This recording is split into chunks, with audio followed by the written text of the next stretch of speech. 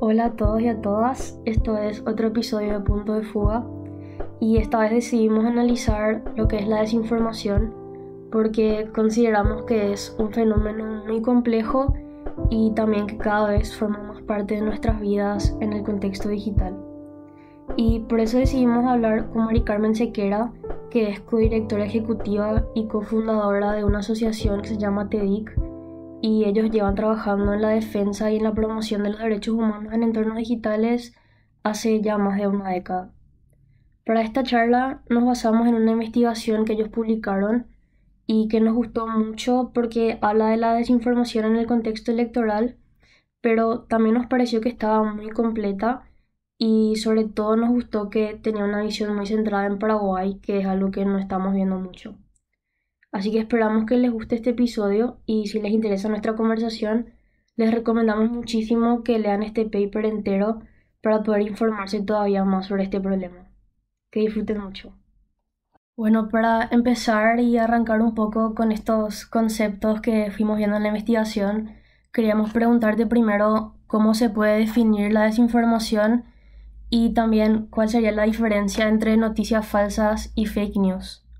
Bueno, la desinformación en sí es un tema bastante complejo, ¿verdad? Eh, está muy discutida a nivel global cómo se va a definir conceptualmente, no hay un término en sí, pero tiene que ver con un proceso, ¿verdad?, de construcción de signos y símbolos, ¿verdad?, que están analizadas dentro de un, dentro de un contexto y unas expectativas de las personas, ¿no? Que tiene que ver con un conjunto de generalmente conjunto de informaciones que no necesariamente tienen que el fin de manipular, sino también tienen eh, eh, tienen otras características. Pueden ser, obviamente no necesariamente tiene que haber mala fe, sino simplemente tiene que haber información incompleta, eh, percepciones muy distintas, interpretaciones subjetivas, ¿verdad? Que, que obviamente de acuerdo a lo que nuestras culturas o análisis políticos que tengamos, las, nuestras construcciones de cómo pensamos, pueden relativizar, ¿verdad? Una información.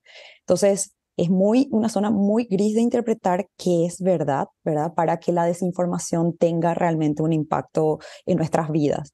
Y eso es muy importante entender ese, este fenómeno fuera de Internet, incluso para entender cómo, cómo se basa eh, eh, la desinformación. Especialmente eh, está construida de acuerdo a la arquitectura de cómo pensamos, ¿no? Y está muy enfocada en los contextos eh, eh, culturales, políticos, sociales, económicos, ¿no? Entonces, dependiendo de qué clase social seas, también vas a interpretar la misma información, el mismo título que yo te puedo pasar de un medio o de una investigación, puede ser interpretada de otra manera, y a pesar de que todos estemos pensando y accediendo a la misma información. Entonces, hay veces que cuando uno habla de cómo mitigar la desinformación y todos los activistas, como yo también de libertad de expresión, hablamos, ¿verdad? De decir más información eh, ayuda a mitigar la desinformación, en realidad es más compleja, ¿verdad? Porque la desinformación en sí es una construcción o un proceso cultural. Yo no me desinformo con un flyer o yo no solamente una vez que leo un artículo ya estoy informada y digo, ah, ya sé de esta información. Entonces, es una zona bastante gris. Por otro lado, en términos legales, porque bueno, la investigación está con un enfoque bastante legal, somos abogados, entonces como que también tiene que ver con un aporte más técnico legal, tiene que ver con que la desinformación está protegida por la libertad de expresión, ¿verdad? Y ahí nos, llama mucho la atención porque generalmente cuando hablamos de desinformación, que está todo mal, es muy importante entender de que generalmente el discurso de conversaciones públicas, privadas, está protegida por una expresión mínima de una persona, ¿no? Y está protegida porque en realidad la idea nunca es proteger qué es verdad o qué es absolutamente verdad, sino simplemente es una información que yo paso. Entonces tiene que ver ahí, eh, la, las conversaciones de la libertad de expresión tiene que ver con un derecho fundamental, no solamente constitucional en Paraguay, sino de convenciones internacionales que protegen, obviamente, cualquier debate o discurso.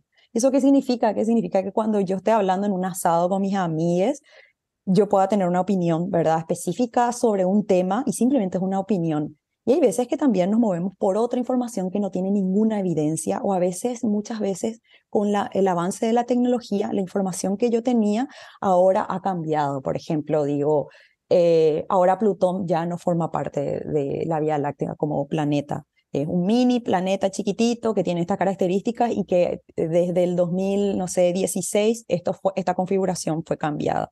y que anteriormente en nuestros colegios sí se enseñaba que era el último planeta de, la de, de nuestra Vía Láctea.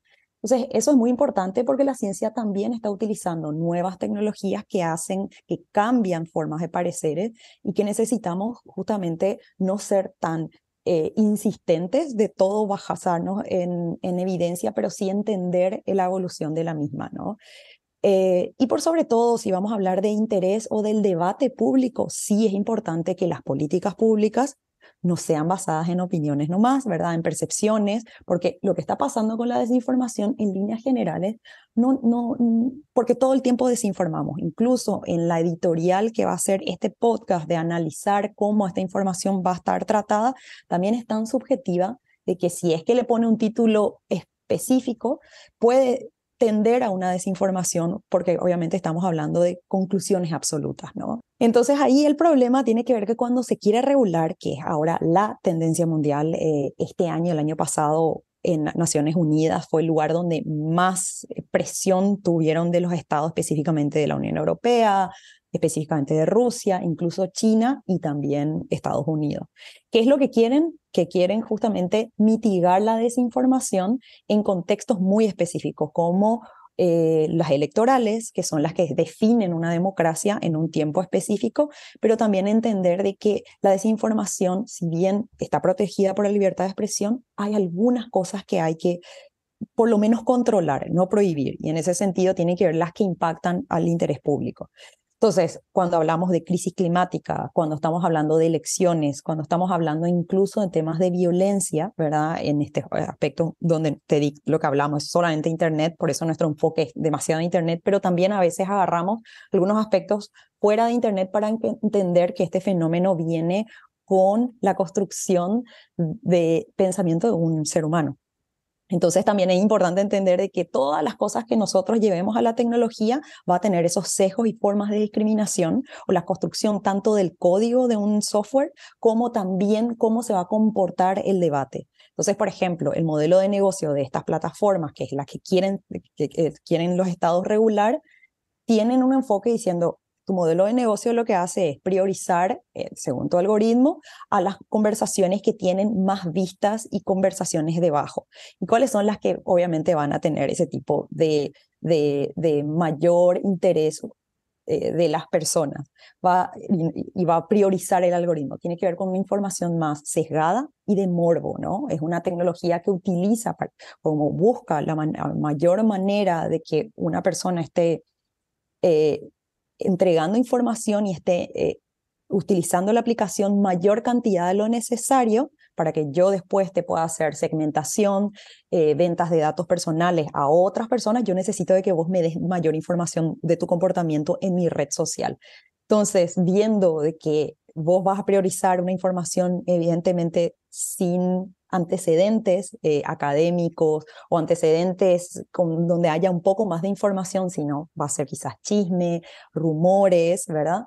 Va a priorizar ese algoritmo para que vos te quedes más conmigo. Entonces su modelo de negocio también es problemático y lo que hace es aumentar, ¿verdad? Que este tipo de información tenga mayor amplificación y mayor difusión de esta información a diferencia de una información con evidencia.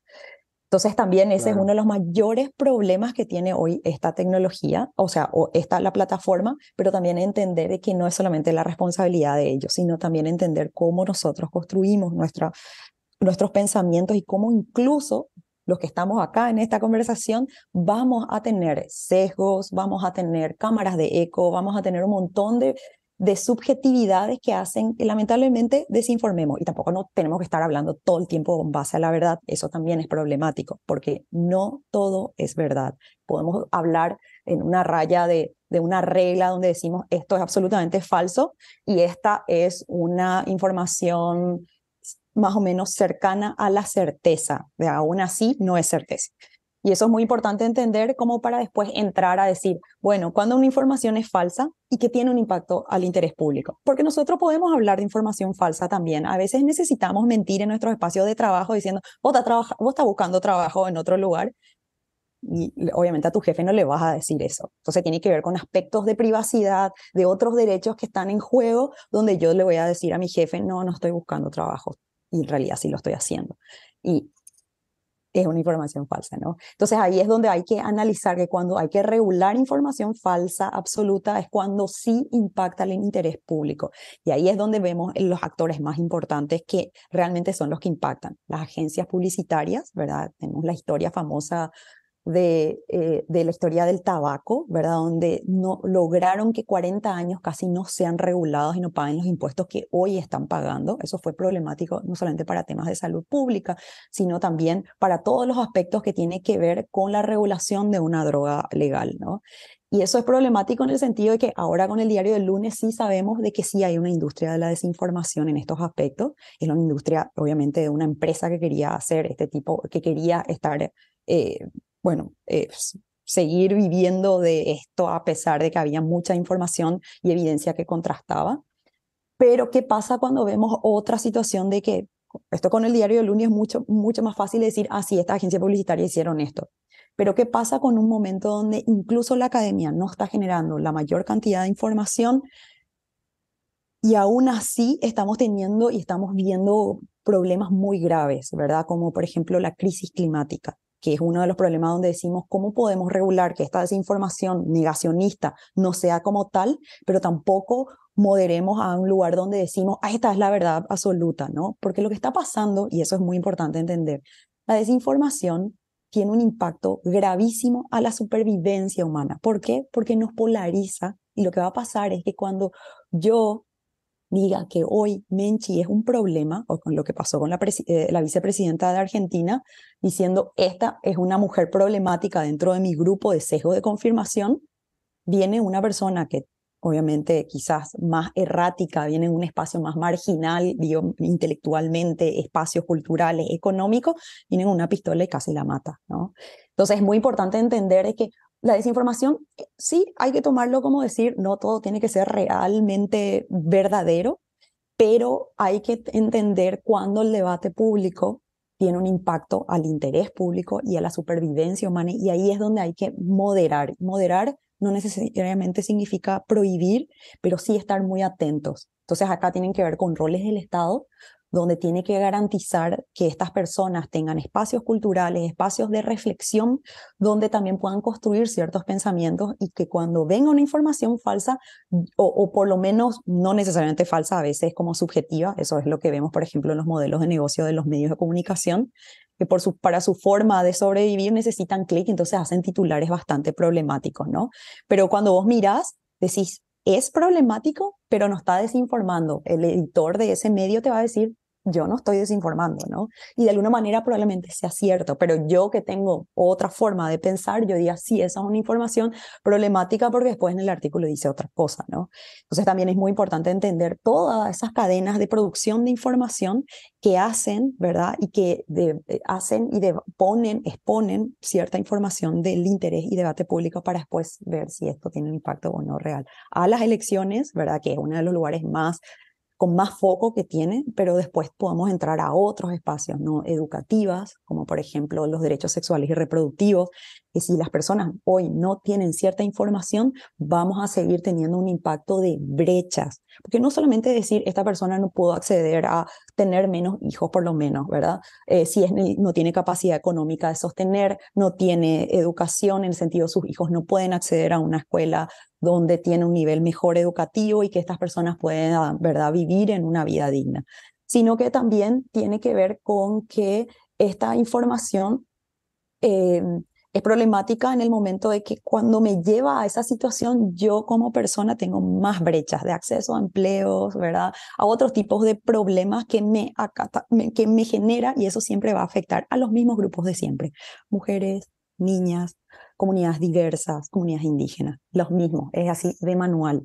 Entonces sí es importante tener también el foco en ese lado cuando hablamos de desinformación, como cuando hacemos perspectiva de género, a quién él excluye. Le voy a dar un ejemplo. Por ejemplo, cuando hablamos de desinformación y mujeres periodistas, es muy distinto cómo le afecta a, a, a hombres. Y eso, por ejemplo, fue el caso famoso de Menchi Barrio Canal, donde la afectación de discurso, ¿verdad? Eh, misógeno, de odio, de violencia, eh, se hizo en el 2018. Después se hizo en el 2022, en diciembre, donde fuimos también partícipes de escuchar todo lo que hicieron contra ella.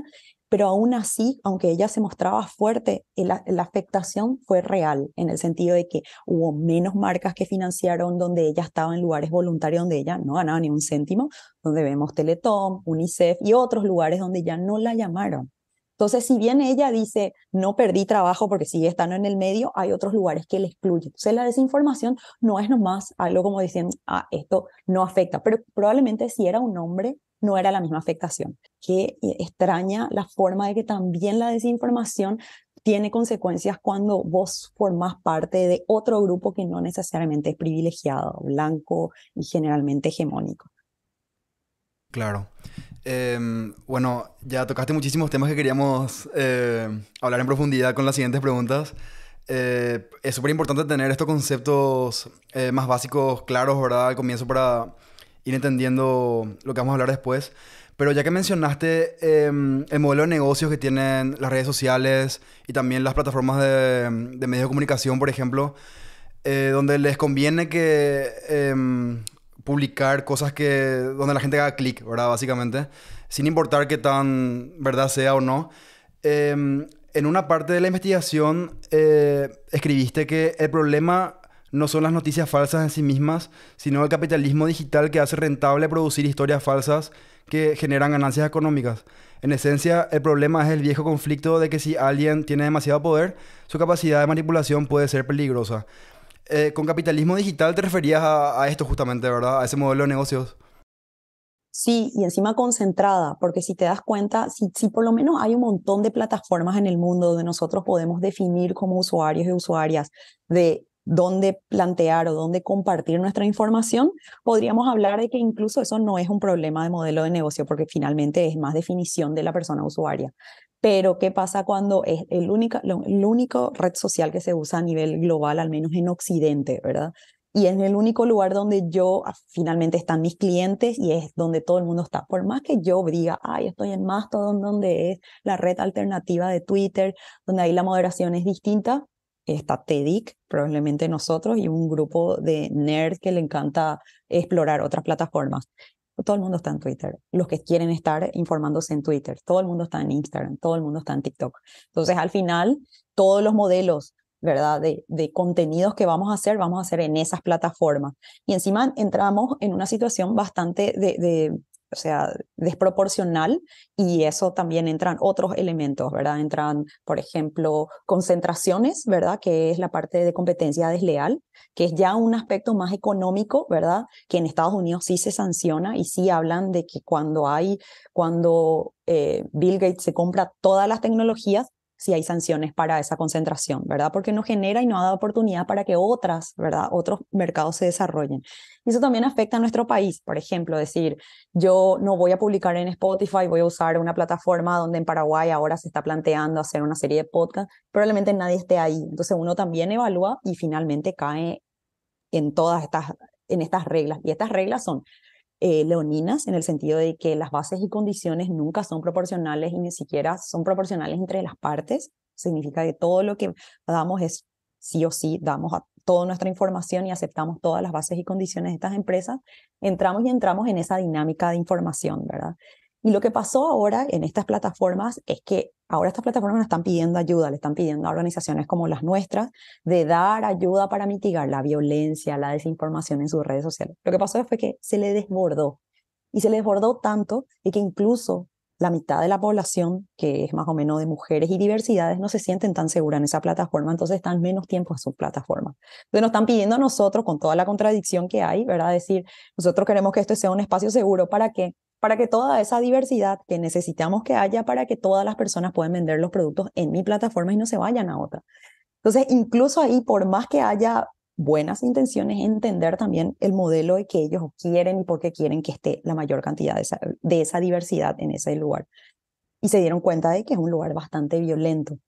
Entonces entran a moderar y la moderación también es problemática. Entonces, antes de entrar a esa parte de sesgos, de algorítmicos, lo que es importante entender es que estas plataformas intermediarias hegemónicas son modelos diferentes y es muy importante entender cuáles, ¿verdad? Son las de redes sociales de este tipo de empresas y también las de mensajerías, que son otro tipo de clasificación de intermediarios. Y aquí tenemos un grave problema en el sentido de que yo por más red, eh, por más medio de mensajería que yo proponga en Paraguay y diga, vamos a salir de WhatsApp, vamos a irnos a Signal, vamos a irnos a Telegram o vamos a irnos a otras red, a otras plataformas de mensajerías más seguras que tienen otros estándares, ¿verdad? Mejores probablemente de privacidad.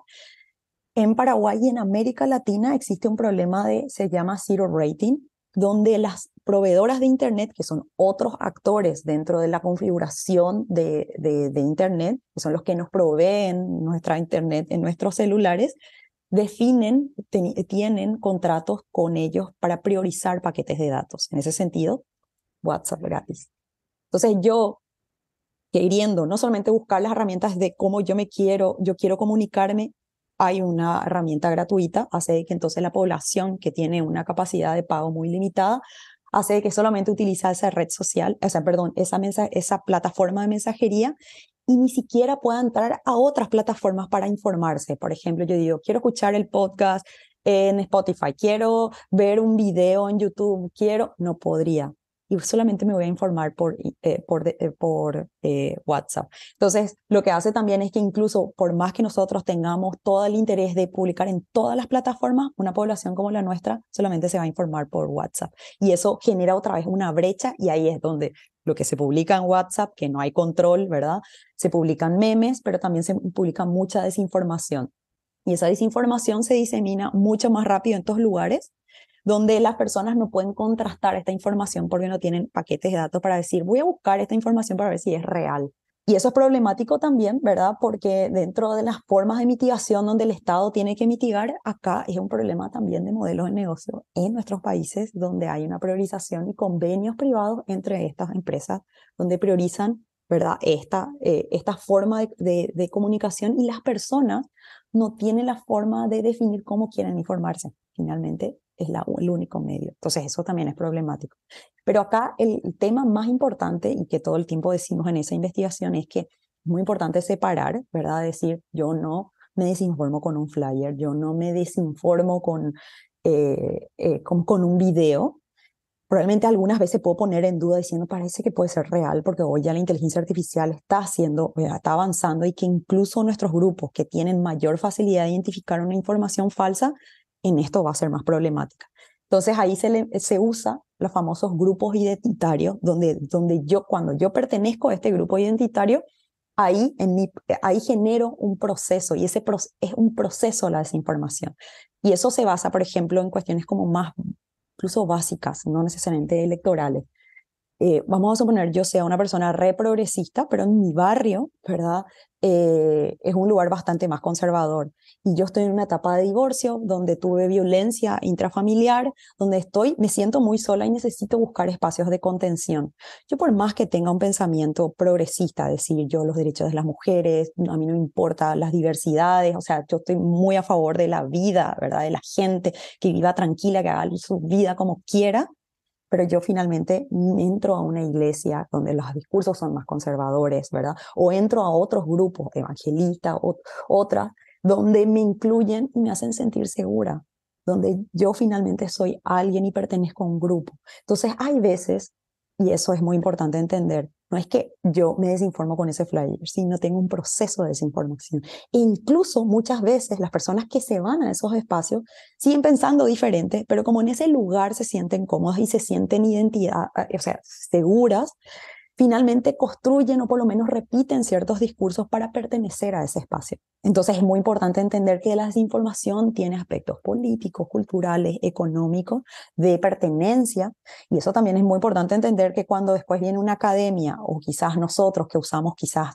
papers y un montón de investigaciones, venimos con muchísima arrogancia a decir de que los electores de nuevo votaron a ciertos partidos y que son nomás burros y, y un montón de adjetivos calificativos sin entender que ese fenómeno o esa forma también de votar tiene que ver con una construcción de identidad de grupo.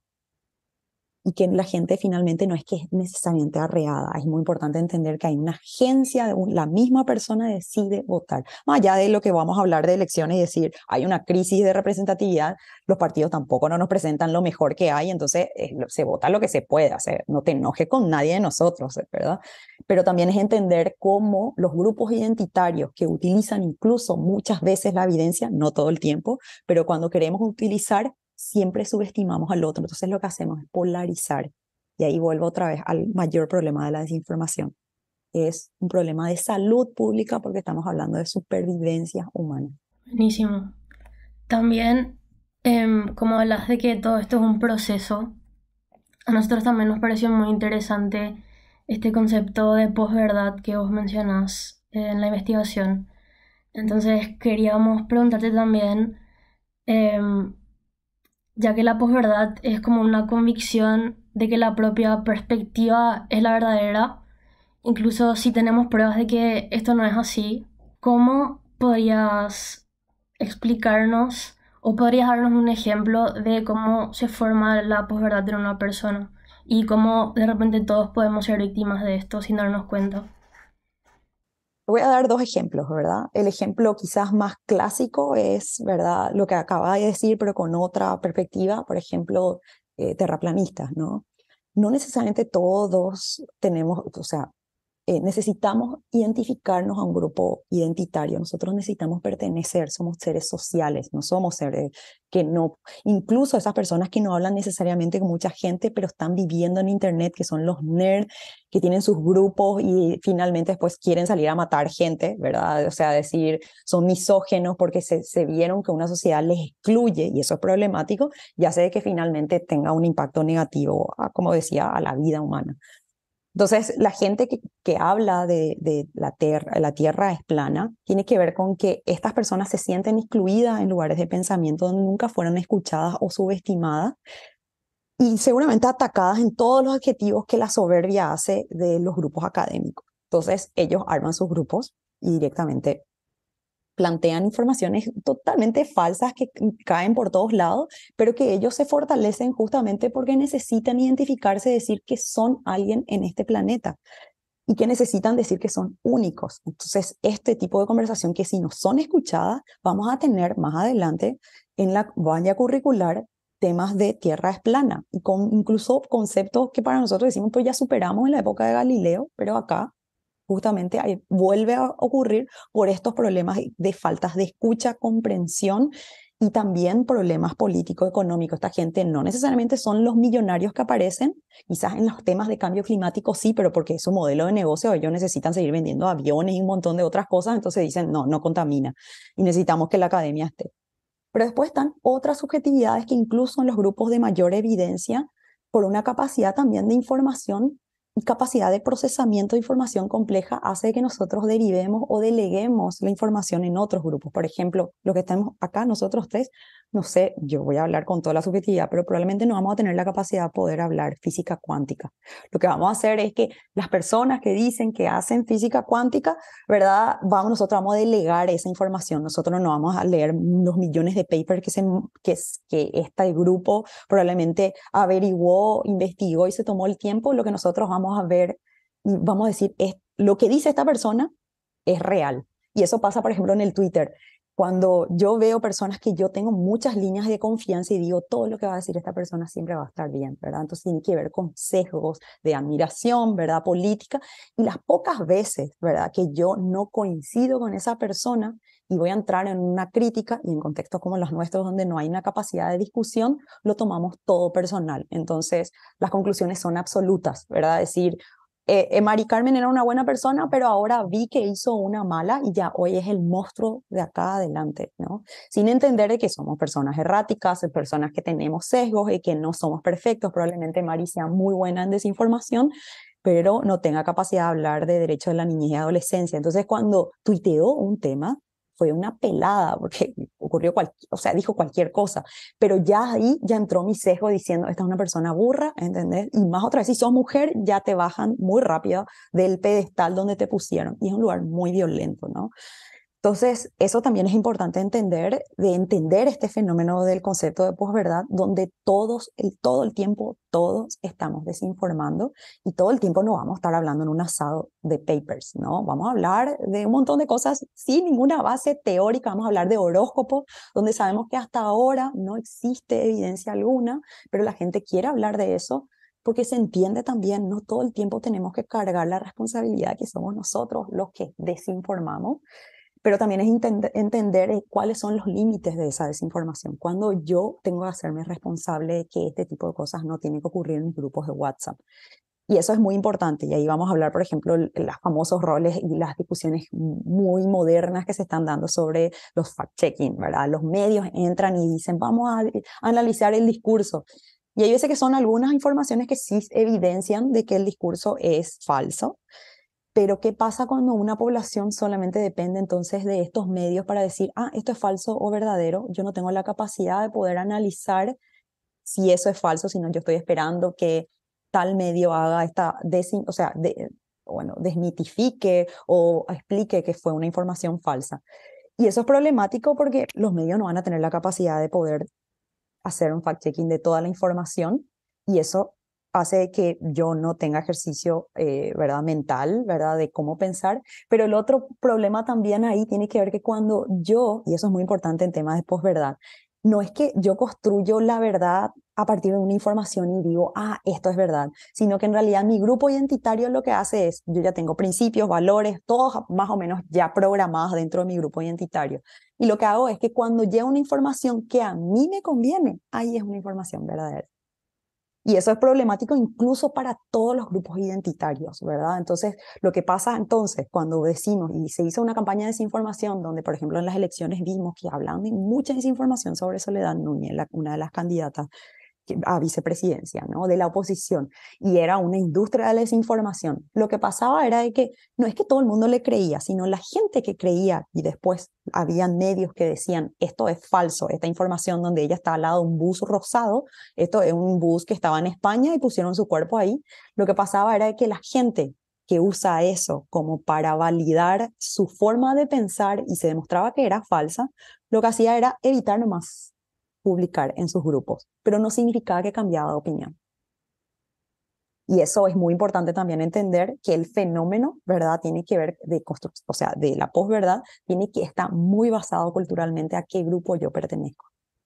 Claro, es una mezcla de nuestro contexto cultural, en donde nacimos, lo que escuchamos de nuestra familia, de nuestros amigos, de nuestro barrio, y encima también eh, en confiar en, en la gente que seguimos en las redes o en nuestros modelos, ¿verdad? ya sea profesores quizás en el colegio o, familiares. Y sí, entonces es muy complicado eh, diferenciar qué es verdad y qué es mentira ponerle. Eh, por eso también nuestra siguiente pregunta iba a, eso, ¿verdad? ¿Qué, ¿Qué, podemos hacer nosotros y qué, podemos, qué pueden hacer los estados para, para controlar un poco esto, quizás regular? Porque en la investigación escribís que eh, si se impusiera la necesidad de informar solo la verdad de antemano, se negaría la posibilidad de llevar a cabo el debate necesario para lograrla, ¿verdad? Eh, y esa intersección entre, em, entre la libertad de expresión y la eh, regulación de lo, de, lo que es verdad y lo que es mentira es muy interesante y queríamos saber un poco más de eso. Y también quería em, aprovechar de citar a un filósofo que se llama John Stuart Mill, que dice algo muy parecido a esto que escribiste vos, que, que es, eh, si suprimimos una opinión falsa, perdemos la oportunidad de desafiar, reconsiderar y tal vez reafirmar nuestras opiniones verdaderas. Entonces, eh, habla de la importancia de, de no censurar nada, básicamente porque nunca nos conviene, sea eso que censuramos verdad o falso. Y eso es el proceso de la misma ciencia, ¿no? Que cuando pensaba de que la Tierra giraba, o sea, que el, la Vía Láctea y el, el, Sol giraba alrededor de la Tierra y no al revés, eran como preguntas o hipótesis, ¿no? Que se dan. Muy importante entender de que no es que tampoco tenemos que dar todo el tiempo a las informaciones falsas cuando ya sabemos que son falsas, ¿no?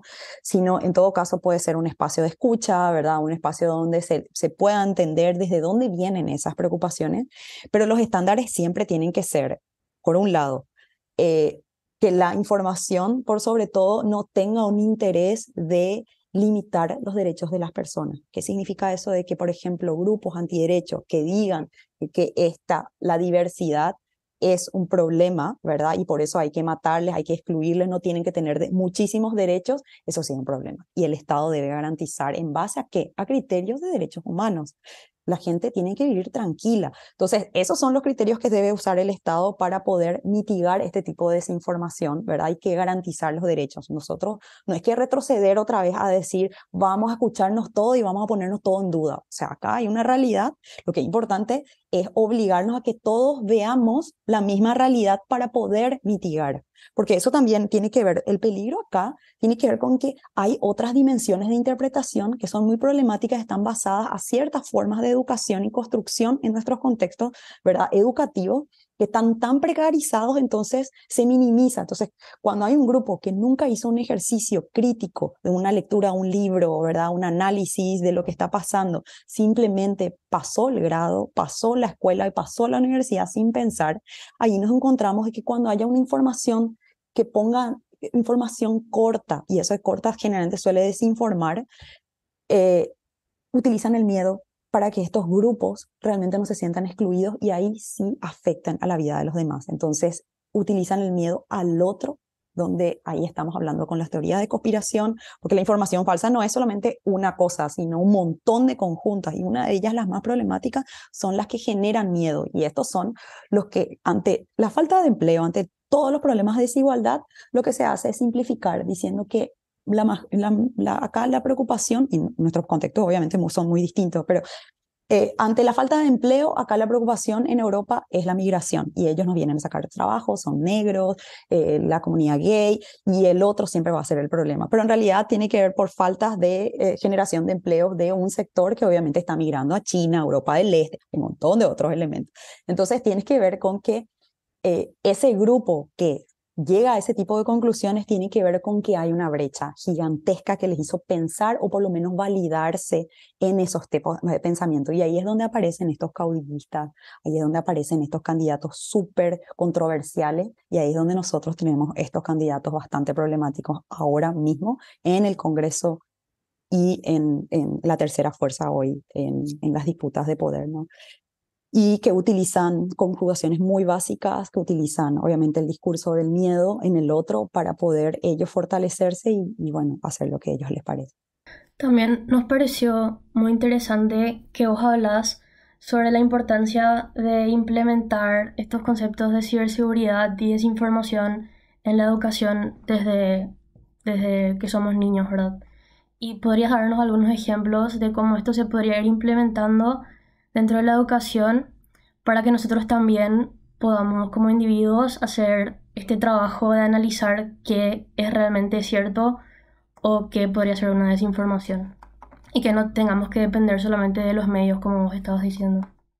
Bueno, ahí el desafío tiene que ver con un fortalecimiento de la educación integral y entre una de ellas de esa integralidad es incluir dentro de la malla temas de ciberseguridad. El tema de ciberseguridad tiene que ver con muchísimos aspectos, no solamente de tener yo la capacidad de decir dónde busco la información, ¿verdad? Sino como yo también me protejo como persona y como comunidad. Porque lo que está pasando también es que es que temas de ciberseguridad no solamente tiene que ver con cómo yo crear, cómo habitar de forma segura en Internet, sino de que cómo en esos lugares yo pueda lidiar con lo que me va a pasar en Internet. Cuando yo formo parte de la diversidad, eh, qué derechos yo tengo, ¿verdad? Tengo el derecho al anonimato, lo cual hace que sea más fácil que yo pueda tener citas, ¿verdad? Que pueda tener la aplicación que yo quiera y que en mi trabajo no me obliguen, ¿verdad? A publicar cosas en mis redes sociales relacionadas al trabajo, mis derechos en general. Entonces, ciberseguridad tiene que basarse no solamente en aspectos tecnológicos, sino también políticos, porque la mayor o la mejor herramienta de protección de nuestras vidas son nuestras normas, son, es la política y se protege a través de eso, no a través de una herramienta que hoy puede ser segura y mañana no. Y uno de los aspectos más importantes tiene que ver que como todo se está digitalizando, el Estado tiene que tener esas políticas de ciberseguridad que cuando se conecta a esta persona, esta persona pueda ejercer sus derechos libremente, que no reciba discurso de odio, que no sea violenta. Y por otro lado, tampoco le excluya, en el sentido de que cuando yo haga eh, no sé, que, me ataquen o que alguien me robe mi identidad de WhatsApp y después resulta ser que están pidiendo plata con, a mí. Yo no que yo tenga las herramientas de saber cómo cuidarme, dónde puedo hacer la denuncia, dónde cuestiones como básicas para entender y protegerme. Y eso también significa de herramienta de decir, bueno, a ver, esta información que este medio me está dando, probablemente no sé si es cierto. Entonces yo me gustaría ver qué investigador está haciendo, dónde yo puedo contrastar la información. Entonces, temas de ciberseguridad no es solamente decir, uy, voy a ser una hacker. En realidad no tiene nada que ver con eso, tiene que ver con hábitos de Internet donde yo pueda protegerme, ¿verdad? Que el Estado me garantice que ese lugar no sea un lugar de extracción de datos, no sea un lugar donde a mí me genere estrés en temas de salud mental en Internet, que no sea un lugar violento, ¿verdad? Para mí. Entonces, ahí están los diferentes actores, los estados. Como sabemos que Internet es transnacional, estamos hablando de regulaciones que no están dentro de Paraguay, y que tenga a las personas la misma posibilidad de poder apelar ciertas censuras que hoy están dando en estas plataformas, como por ejemplo, ¿por qué me, enviaron, me bajaron mi post a mí, pero no le, no le bajaron a una persona que me estaba no declarando la muerte, pero sí estaba haciendo un discurso eh, violento e insultante a mi comunidad, a mi diversidad, ¿verdad? Pero a mí sí. Eh, después, eh, otros temas de ciberseguridad tienen que ver con, por ejemplo, las personas, estamos hablando de digitalización, todo el mundo está hablando de cuentas bancarias, y la gente no sabe cómo usar, no sabe ni cómo hacer transferencia, ¿no? Entonces, en temas de ciberseguridad tiene que ver con todas esas habilidades que tienen que tener las personas al momento que se insertan y que tengan todas las herramientas también para protegerse al momento que existen tipos de violencia en esos espacios, ¿verdad? Entonces yo pueda utilizar las pruebas para cuando alguien hace una desinformación como tal, contra mis personas, yo tenga todas las pruebas para hacer una denuncia ante el Poder Judicial de acción privada, como por ejemplo difamación y calumnia, ¿verdad? Y después también cómo utilizar las aplicaciones, cómo construir, cómo entender cómo está configurada Internet cuáles son las relaciones de poder que, hay, que existen ahí y que entender de que los fenómenos, o sea, culturales se trasladan a Internet. O sea, no, o sea, no, no podíamos esperar de que Internet no sea violenta. Ahí se reproduce todo lo que somos fuera de Internet y se lleva a Internet, se lleva a estas plataformas. Entonces, eh, no tampoco pensar que todo es bueno ahí, sino en todo, y tampoco no es que cuestionar todo, sino lo que hay que ser es crítico, ¿no? Entonces, cuando hablamos de inteligencia artificial, no es que decir, uy, esta ya vino a cambiar todo, no va a sacar trabajo, eh, vino a matar a toda la sociedad, ahora van a ser robots asesinos, no sé, un montón de delirios. O sea, ahí es donde hay que tener en cuenta diciendo, ¿Cuáles son los problemas que puede tener esa inteligencia artificial aplicándose en mi contexto? Sesgos, confirmación, esta inteligencia artificial está desinformando el chat GPT, ¿por qué? Porque está usando textos predictivos que a mí a veces me conviene porque está validando mi pensamiento y hay veces que no, ¿verdad? Hay veces que está diciendo todo lo contrario, vos sabés que, te está, que está, es súper erróneo.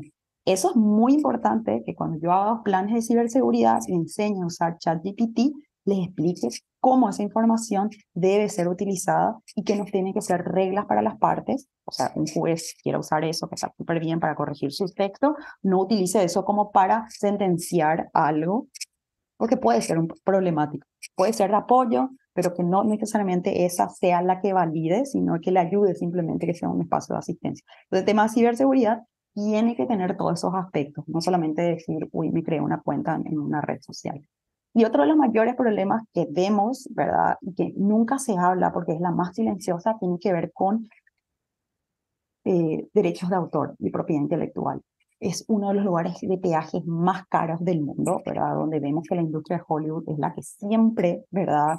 Eh, lideró esto. Y después tiene que ver con las farmacéuticas, ¿verdad? Como vimos la pandemia también, con un montón de espacios donde se se desmanteló muchas industrias, ¿verdad?, que viven de, de, propiedad intelectual y se fue problemática al acceso humanitario, ¿verdad? Y eso hace que cuando países como los nuestros, que no tienen academias gigantes y solventes, y para poder generar políticas públicas yo necesito usar evidencia. Como no existe acá, no hay recursos para hacer cual y cuánto y a gran escala, ¿verdad? Lo que necesitamos acceder a, eh, a, investigaciones que se hicieron en la región o incluso en el norte global. Y eso lo que hace es que si yo no tengo capacidad de pago para poder acceder a esas bibliotecas gigantescas y nuestros grupos académicos no tienen eso, seguimos estando muy lejos de poder generar respuestas a contextos de nuestros países. Y eso hace problemas de políticas públicas, eh, integralidad en, en, en, aplicaciones, ¿no? Y hace que todavía estemos desinformados porque en otros países la academia está tan avanzada, ya están aplicando ciertas respuestas y nosotros no podemos. ¿Por qué? Porque nuestra academia no puede y también los accesos a esa información están bloqueados bajo el peaje de propiedad intelectual. Entonces eso también nos excluye a países como los nuestros. Sí, y también lo de la educación es importante porque em, también depende de cada individuo decidir eh, seguir compartiendo algo, una noticia o alguna publicación, eh, para que se llegue a más gente, ¿verdad? Entonces todos tenemos una responsabilidad también en lo que es la, la, vida de una desinformación. Claro, em, cuando, eso pero justamente eso es muy importante lo que decís, pero cuando estamos alegando ya de grupos donde son muy conscientes de que también somos actores de desinformación, pero ¿qué pasa con otra gente que no se va a hacer esa pregunta? Entonces ahí es el, problema educativo básico de que necesitamos que todos tengamos la misma interpretación de la realidad. Eso significa que todos sepamos que estamos viendo el color verde, ¿verdad? No estás viendo otro color.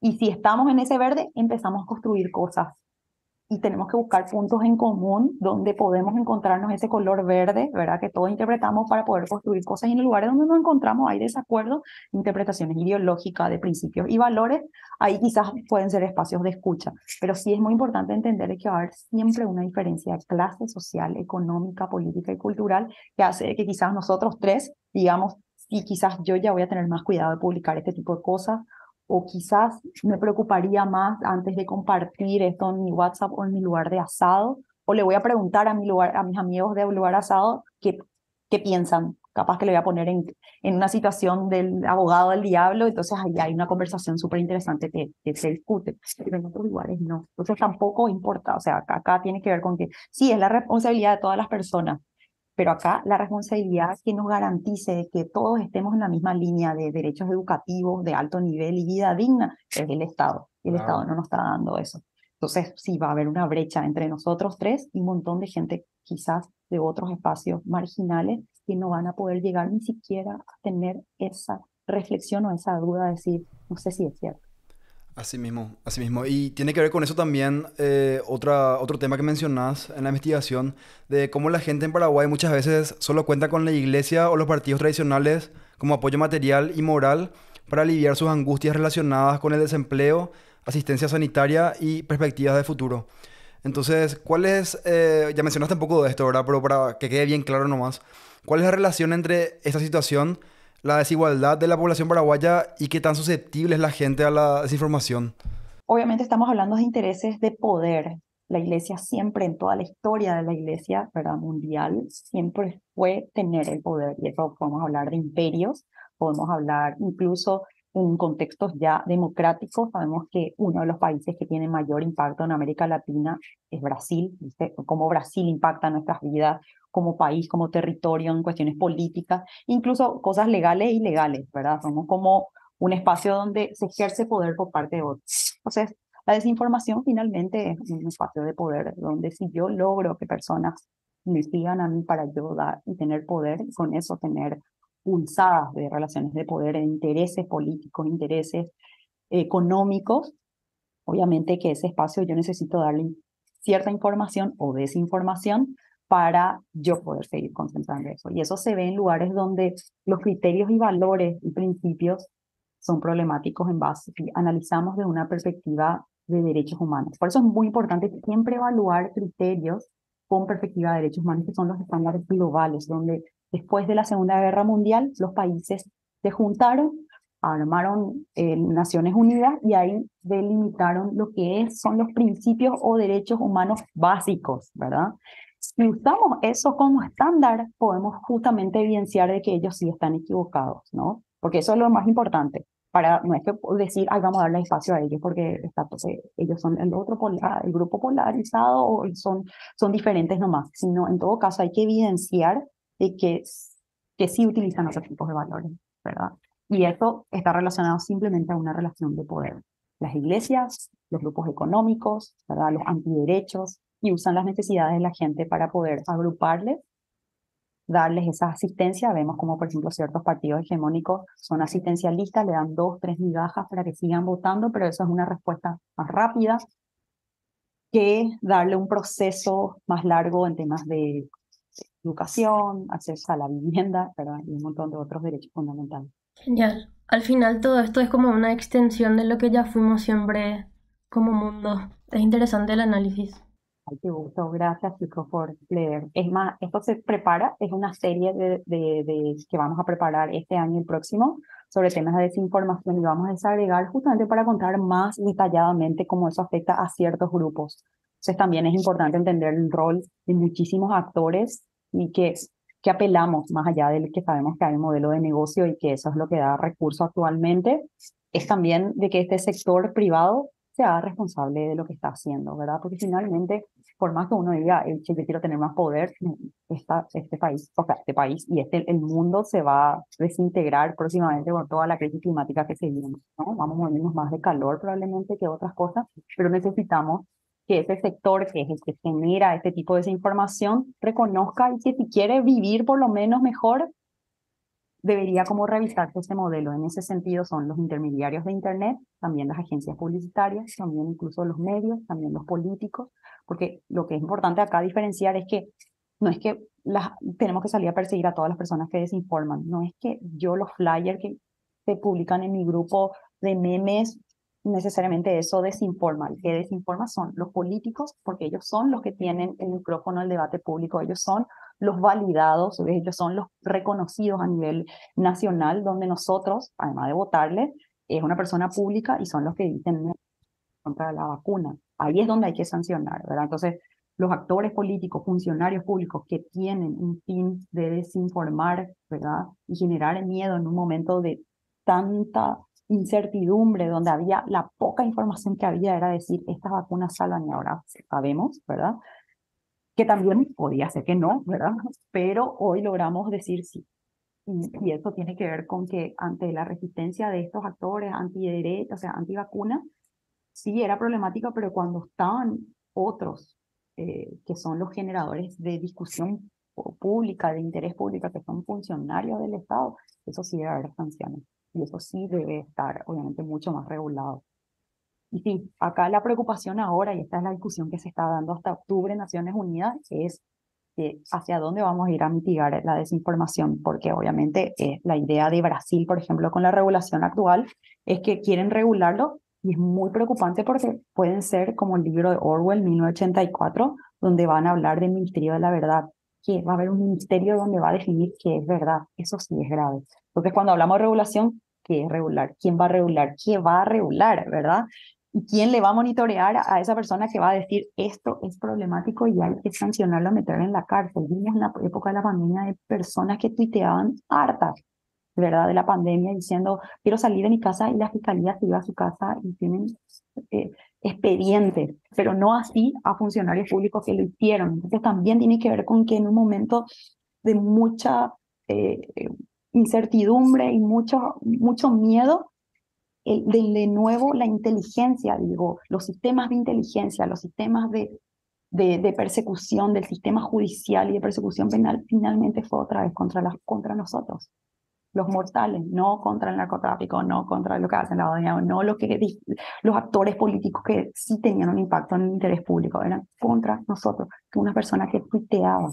Entonces, eso sí es problemático y creo que, que, que ahí dejábamos muy claros en la investigación por favor, y le decimos eso mucho a la academia, no lleguen a conclusiones donde digan que la desinformación es a través de WhatsApp, a través del player que se difundió en WhatsApp. Acá es un problema mucho más grave de otros actores y de otras, y, de la construcción del pensamiento que hace que tenga ese impacto. Pero estas personas fueron a votar a estas personas, no porque fueron manipuladas. Es muy importante otra vez no subestimar a esas personas. Las personas tienen agencia, las personas tienen pensamiento, obviamente podemos tener la diferencia diametralmente opuesta a la de ellos, porque obviamente tenemos ciertos privilegios a diferencia de ellos, que podemos llegar a conclusiones más complejas, pero bueno, creo que acá la mitigación de desinformación va por otro lado y no solamente regular, decir cuál es verdad y cuál es mentira.